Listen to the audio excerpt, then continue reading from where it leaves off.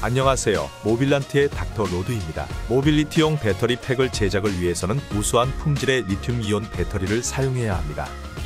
하지만 지나치게 저렴한 배터리는 문제가 있을 수도 있습니다. 안타깝게도 멀티테스터기를 사용한 전압 검사만으로는 배터리 용량 확인이 불가능합니다.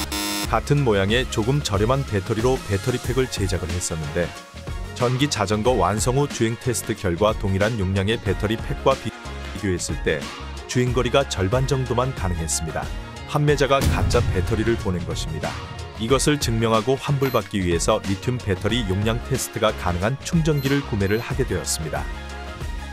충전기 이름은 리토카라 LII 600입니다. 삼성 35위 배터리는 3500mAh 용량을 가지고 있습니다. 그래서 테스트를 해보니 이 가짜 배터리들은 용량이 2200mAh 밖에 나오지 않았습니다.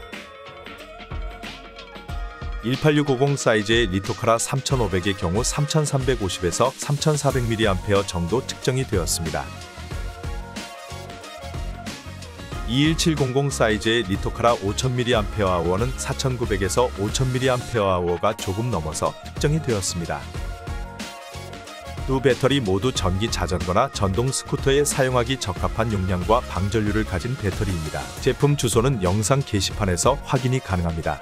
그리고 배터리를 구매할 때 판매자에게 e-bike 용도로 사용한다고 하세요. 그리고 같은 제조일자나 상자에 있던 제품으로 보내달라고 메모를 남기세요. 그래야 전기 모빌리티 제작에 중요한 균일한 품질의 배터리를 받을 수 있습니다. 구독과 좋아요 클릭은 영상을 제작하는 데 큰 힘이 됩니다.